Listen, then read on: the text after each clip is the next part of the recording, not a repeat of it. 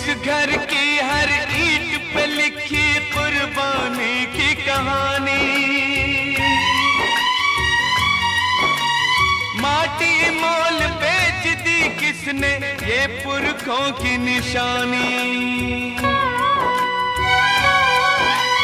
जिसको लहू से